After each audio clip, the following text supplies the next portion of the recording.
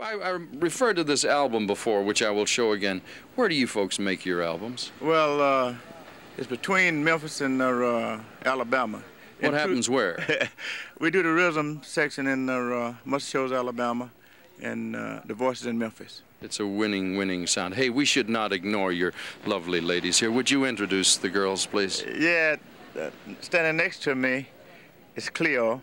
She sings tenor for the group. And the lady in the middle? The lady in the middle, that's Yvonne.